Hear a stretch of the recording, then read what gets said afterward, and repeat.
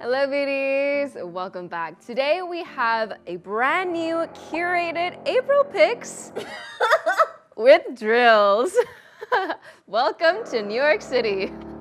Today we have a Beauty Within special where we're going to go undercover and look into New York construction. Who cares about skincare? Real estate is the hot new skincare.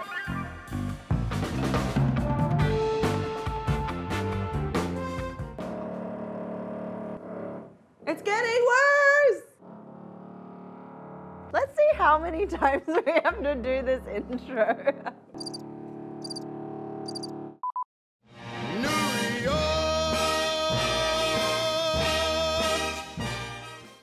Hello beauties, welcome back. Today we have an exciting episode where we're gonna share our curated picks for new launches. There's gonna be Farmacy, Tata Harper, Inkey List, Venn. I feel like I'm rapping. There's yes. Bliss. There's a new exfoliating sheet mask, moisturizer from First Aid Beauty, and Laneige. Yes. There's honestly everything, and I think a lot of people are excited, especially for specific brands and products that have hit the market. And if you guys haven't watched our first video, we do do these like curation picks because every month something comes out. And because we've gone through and tried each of them individually, we're going to share our thoughts. Obviously, Ro has dry and dehydrated skin, so she represents a bunch of you guys. I have oily combination and acne, so I'll share with you my thoughts.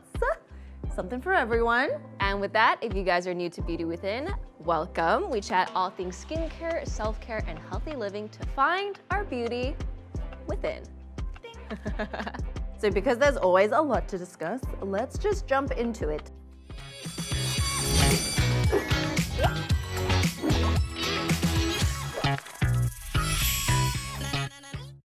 All right, to start, what do you want to go with? You Farmacy's feeling good. Feeling good. It's like feeling good, but it's feeling good. Oh my god, so cute. So I was really excited about this serum because Farmacy's previous serum and their first serum was a resurfacing honeymoon glow with them coming out of this honey hyaluronic acid plumping serum. I was like, I can't wait to try. Yeah. And when I tried it, oh man, this with a nourishing moisturizer just gives me like the most glowy skin of all time. Yeah. I look like a glazed donut. It's like a Krispy Kreme. It is Krispy like Kreme skin. It does look like without the calories. but yeah, so the consistency, unlike most hyaluronic acid serums, which are just like purely watery, this one's like a milky, creamy hyaluronic acid. And there's still a pull. Yeah, much like snail mucin. Yes. It's got that consistency. And one thing to mention is that there is a very strong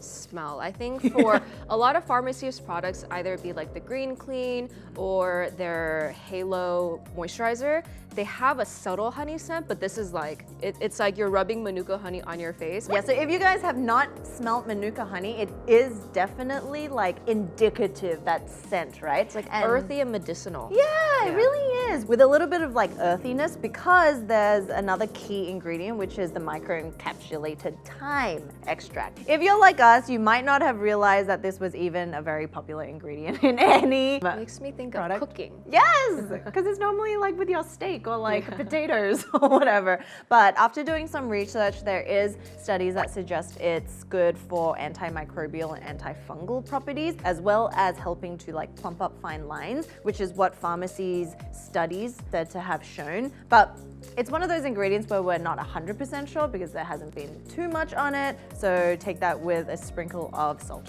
Over your steak with thyme. With potato. so if you were to rate this serum for hydration and plumping, what would you rate it? Probably like an eight and a half only because when I think of hyaluronic acid serum, it's just the watery ones that dissipate. But this is so encapsulating, nourishing. Yeah, I would definitely say it's at least like a 8 to 9 out of 10, so like basically 8.5. Mm. It is many, many steps up from a typical hyaluronic acid serum that you'll have. Mm. And I think with the honey, with the amino acids, mm. with the mm. collagen, with the thyme, like there's so much in there that I, it's gonna be a, there's just a fly. or it's i it's gonna be I, around for a really yeah. long time. I'm gonna use it for a long time. Yeah, and you only need a little bit. Any toner I use paired with the serum and that moisturizer, my skin is just like, Bing! I'm here. So moving on to some moisturizers. I mean, we have cleansers and toners and all that, but I think this is cool because we have the first Aid Beauty. Ultra Repair Firming Collagen Cream. Mm-hmm. Creme. Wow, many R rolls. Ah, And then we also have one from Em Cosmetics. Yes. And this is, what is it? The Cuddle- moisturizer. it's the. Cuddle Balm. It's Cuddle actually Bomb. so nice. It's from the OG Michelle Phan. Mm-hmm. And this, ugh, I love it. Okay, so let's, uh, you want to talk about this first then? Yeah, let's talk about Okay. that first. So Today's first just all- let's talk about Rowena. Yeah. Rowena pods. what do you want? Okay, my first thoughts when I saw this, I'm always hesitant when something comes in a balm Because a balm on the face, I just think like, like, yeah, weird. It's like, but when I tried it on my hand, I was like, oh, that feels kind of nice. really nice. Yeah, it just like sank nicely. I think it felt like a lip balm on the face. Oh. Like a drunk elephant lippy balm on my face.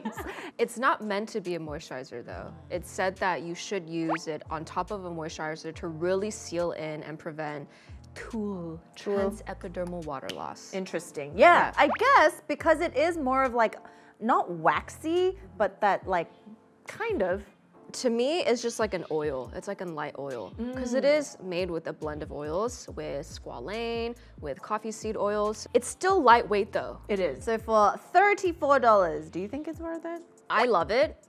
I think you can live without it, but it's convenient. It's very travel friendly. Not that we're traveling anywhere, but just to have in your purse. Ooh, I feel like this can also work under your mask. Like, let's say if this area gets really dry, mm-hmm. if you just apply this before, so like it prevents it from, I guess, like chafing.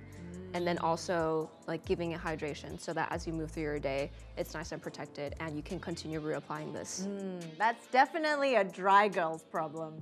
I feel like You're like, so much moisture. I'm looking at you for affirmation and you're just like, I'm like, how does that feel to be dry under the mask? Moving on to your more standard, typical form of moisturizer. Bing! This is First Aid Beauty's Ultra Repair Firming Collagen Cream. This has a very interesting texture. It feels like it's whipped upon, like, I, I can't describe it. I know what you mean. You look at it and, you think it's whipped, but it's not. And it's moussey. Yeah. It's velvety. you know what it is? It's whipped cream. It's It's whipped watery, but it's like 5% whipped. Yeah, because you can tell it's like fluffy and cloudy almost. So some of these textures are like the Paula's Choice Omega moisturizer. There's the um, Lala Retro. Elephant. Oh, yeah. but I would say this is like 10% of that. in terms of The denseness, whippedness, yeah. Yeah. Because this is this feels a lot more wet. So I would say the Lala Retro and the Paula's Choice feels a lot more dense. like oils and shea butters yeah, and stuff. without being suffocating and thick. This has a slight white film for at least like 10, 20 seconds when you're working it into your skin. Mm-hmm. And I don't like working moisturizer into my skin. I feel like it should just glide on. Invisibly. Yeah. Do you care about that for your oily skin? I think to me it depends on the end result. I don't like moisturizers that are sticky. Yeah. So moisturizers that work really well for you because your skin just like drinks it all up. It leaves my, it just kind of like sits on my face. Yeah, and doesn't go anywhere except my hair. And then my hair looks greasy. Fun fact, today it is greasy. Okay, so moving right along, we have a new type of face mask. And isn't this beautiful? So this is a brand that isn't in the US, it was in Asia. It's the Babyface Skin Reboot Peel Mask. Okay, we know you guys absolutely love chemical exfoliants, and this is a one minute chemical exfoliating mask to kind of give you that, Baby face. the baby face. The baby skin that we all want. Yes, and I think it's really different compared to other chemical exfoliating products. One, because it's a mask that you put on for 60 seconds and then you peel off and then you gotta rub it in. It's kind of using those peeling cleansers Yeah. where when you like work it into your skin, it turns into little. Yeah, I mean, like I think for the most part, you're just rolling up the product, but then it is helping take away some dead skin cells. Yeah. And that's how it really helps to reveal brighter skin. But the thing with this is it's got AHA, BHA, as well as PHA. And when you look at the ingredients list, you will see that the chemical exfoliants are at the bottom of the list, which helps with that sensitive skin aspect. So after you kind of rub it in for 10, 20 seconds, you wash it off and it does reveal that like brighter, more evened look on your skin. So you do this once a week and it actually comes in the box with five, so you're good for like a month. Actually, I think this will be a great mask to do in the morning before you put on your face, like if you, If you were going out or like mm-hmm. if you're gonna go to an event. But let's be real, who's going to A events virtual these days? Zoom event. yeah, if you just want to have a great base that's smooth to put makeup on, I think this will be great. But just make sure to SPF because it is a it's still a chemical exfoliant, even if it's gentle. Moving on to this little bento sphere. It's so cute with the little Silicon spatula. Since Belle uses, I didn't use this, but then I just like put my You put my finger in there. me? No, I do not Inadvertently want to. me? 2021. But we quarantined together. this is Laneige, Laneige's, Laneige, Laneige's new lip treatment. It's iridescent. it is. Okay, before we get into anything, like I was surprised that it's iridescent. Iridescent. Iridescent. As a lip treatment, I would just expect it to be like thick and balmy. Um, yeah. Yeah, but this is like a 90s lip gloss. True that. I love it. Like it's iridescent. Now your lips are like, I got that glow, yo. and the scent is supposed to be pina colada. Pina colada. Dun, dun, dun, dun, dun. But do you not because it's iridescent? I just feel like I'm applying lip gloss at night when I want something that's very nourishing and cuddly. Ah. Yeah. Hmm. Muchos interesting. So Because you also don't like the Laneige sleeping mask. Yeah. So you just don't like Laneige lip mm, products. Yeah. I love the cream skin. Yeah. I think, okay, to be fair, here's some context. My lips are really dry. Mm-hmm. They're so dry that sometimes when things aren't nourishing enough, it just is useless to me, mm -hmm. right? So I, I put stuff like papa, papa ointment. Yes. I put ointments on my lips at night.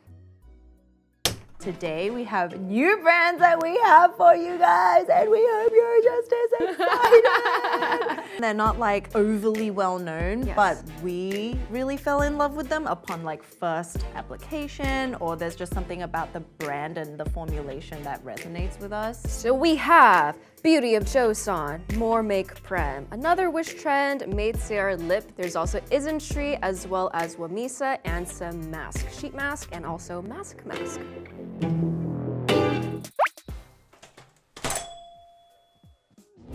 The next product is Glow Recipes new ceramide avocado Serum. serum. Mm. It sounds like a dream. Yes. Okay, ceramides, guys. They very recently put this humble ingredient back on the map of how effective and just how great it can be because ceramides are naturally present in our skin. You know, we produce it ourselves and it has everything to do with a strong skin barrier, which has everything to do with glowing skin, truly. And one of their more, like, there's no fragrance in this one.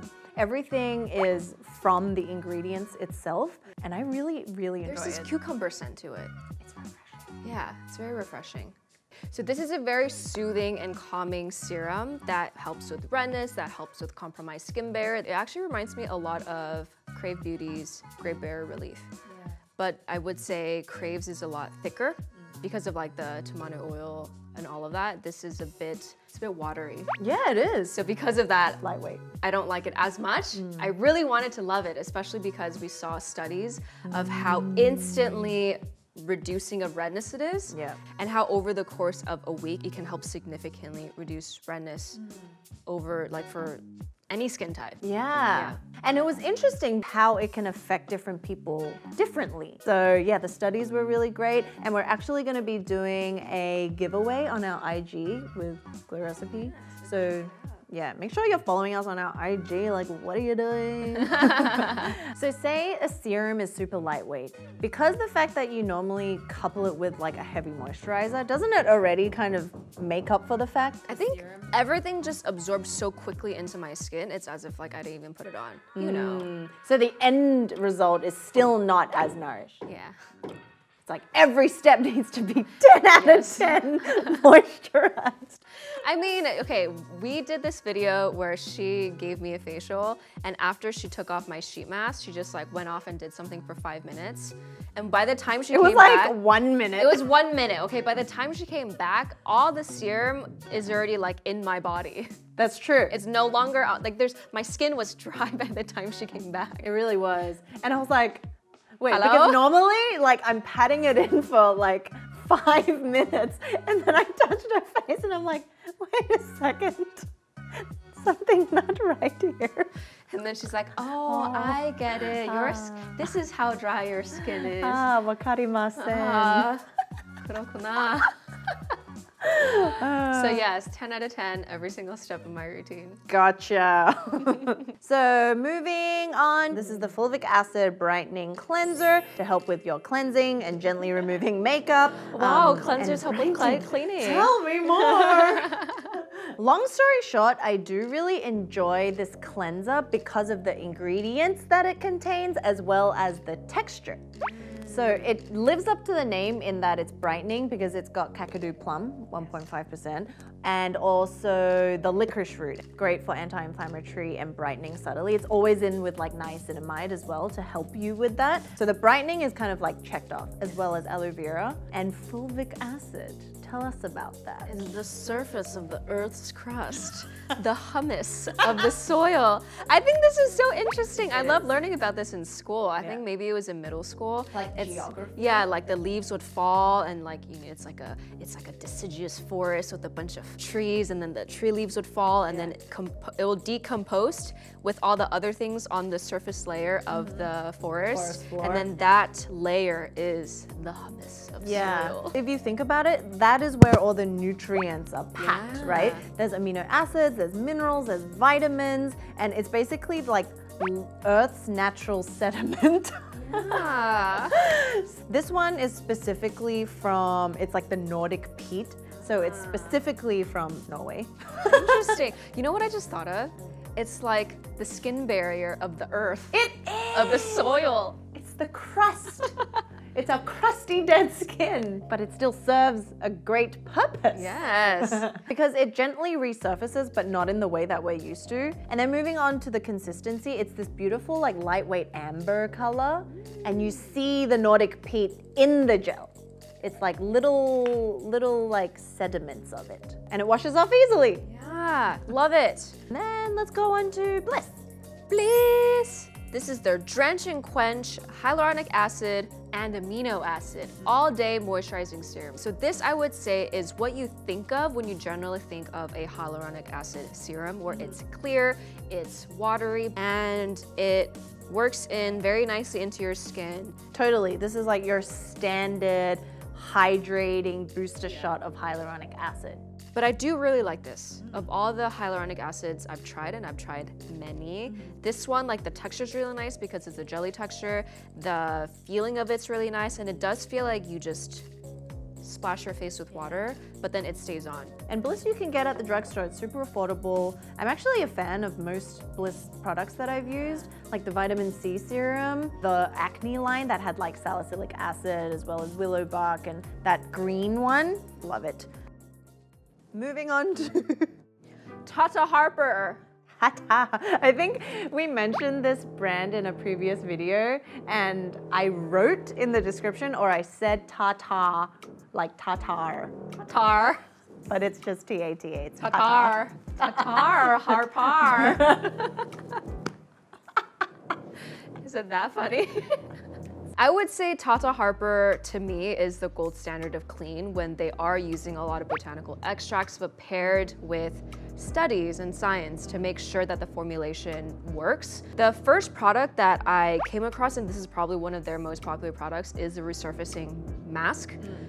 I remember reading about it from, I think Selena Gomez or Vanessa Hudgens used it in mm. like 17 magazine or something. But anyway, so this new line is their new sensitized skin line. And it's interesting because at first I was like, oh, I wonder why they came out with a sensitized line or like for sensitive skin. But it brings us back to how we have to understand things like botanical extracts and essential oils and things because I think their normal range is full of that, right? So then some people might really have enjoyed the brand and the philosophy and everything that they stand for, but for whatever reason, maybe they can't have like lavender oil or anything like that. So I think this is the reason they came out with this. So they have a cleanser, they have a moisturizer, and also a, this is a radiance mask. Yeah. So which one you want to talk about first? Cleanser. Okay. Ding! It's so luxurious, It first is. of all. it's in glass. Yes.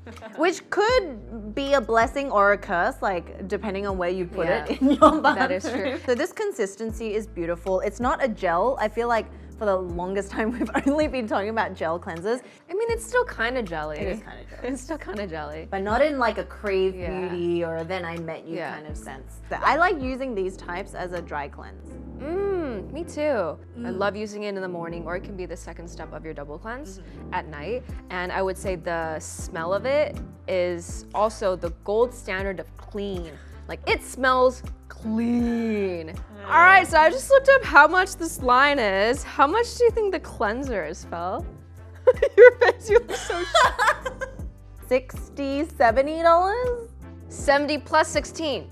I do know that as a brand they are more up there. Yeah. I feel like this is definitely a luxury. Yes. Then let's move on to their moisturizer because they have a moisturizer. This is the fortifying moisturizer. So the cleanser had 18 botanical blends. Mm. This one has 24 botanical blends. And I would say for my very dry skin, it works more as a serum than a moisturizer. Mm. Yeah. And similar to the First Aid Beauty, it has that more white. Oh, does it? For me, yeah. This is Yeah. definitely, I feel like the consistency for combo oily. Yeah. Again, I don't think anyone needs to pay 120 for a moisturizer, but I think what we try to share a lot on this channel is like to each his own. If it is something that, you know, like it's formulated for them. Yeah. Then there's the radiance mask. And I think after we just looked through the ingredients list, if I was to pay money, I would buy this one over these because it's different. Yeah, there's lactic acid in there and kaolin clay, mm. which is interesting because it's like a milky. Yeah, and the sugar probiotics, is it? So it's good for your microbiome. It's helping with slightly resurfacing the skin to renew and like reveal brighter skin. I guess because it's called the radiant mask. But what's interesting is the kaolin clay aspect. Yeah. So maybe it helps to like absorb oils or something. Mm-hmm. So these I feel like I love, but wouldn't necessarily like repeat purchase all the time because there are other alternatives that you can get that are very similar to that. But something like this that offers like a different ingredient or a different formulation that you is hard to find, I would definitely pay money for. Last but not least, we have Venn's, a new baby. This is their symbiotic defense mist, probiotic and prebiotic, and I believe there's also galactomyces mm. in here. And Ooh, Saccharomyces. Yeah. All the Pokemon sounding names. I got you. yeah. So this actually reminds me of the drunk elephant mist, Oh, the sake. the fermented one? sake one. Yeah, they mm. they sound kind of similar. I think that one also has galactomyces, if I remember Yeah, they both have probiotics. So for this mist, there's also vitamin B3, which is niacinamide, B5, panthenol, as well as glutathione. So glutathione does help with brightening your skin. It's actually in Dr. Wu. Yeah. And arginine, which with all those ingredients combined, can help subtly brighten your skin. Yes. If you were like really excited after hearing us talk about our love of the Venn products, I feel like this is a great entryway into it to really understand how, you know, these ingredients can work on your skin. So we're really excited that they came out with that one. Yeah. And with that, Fel, what is something you learned this week? Because I was actually watching a video on in the 1950s, these like high school students who were UN ambassadors, right? There was one from every country. They were all kind of deliberating different aspects of prejudice, right? But they were so civil about it. And they were saying things that nowadays I think people would easily get offended by and be like, excuse me, like you invaded my country, you know, like colonization or whatever. It, like they're pretty hard topics. But the way that they were conversing was like, oh, I understand your point. But here's what I think. And knowing that at the end of the day, there's always two angles that you're coming at it from. And depending on where you stand, that's your perspective.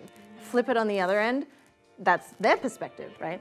So then I was thinking about how we communicate these days and now. Do we communicate with humility and do we open heartedly accept people? And then questioning do people even speak with respect? And then, like, how much of the things that we say is really just to prove our own point? And does that have humility? You know, because you think you're right. So it's like, take it or leave. And it's kind of very egotistical. So, yeah, it was kind of like a wow, if these kids are able to do that. Obviously, they were in a very safe space, and I know that's not reflective of like society at large, but if we were able to just take little principles of that and apply it into our everyday life, I feel like we would be much happier overall and not take everything like personal attacks, in which it's not. If we want to talk about cancel culture, that can be an episode in and of itself. Yeah. But I think these days, what I've realized is just more about empathy and dialogue, mm. right? Like being open minded in that way. And this is something that we've talked about in previous Motivational Mondays, yeah. where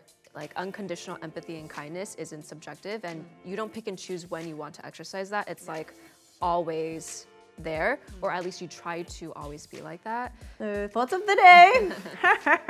Deep thoughts of the day. Let us know any of your questions, whether you have anything to add on to that or whatever it is. Hope you guys having a beautiful week, day.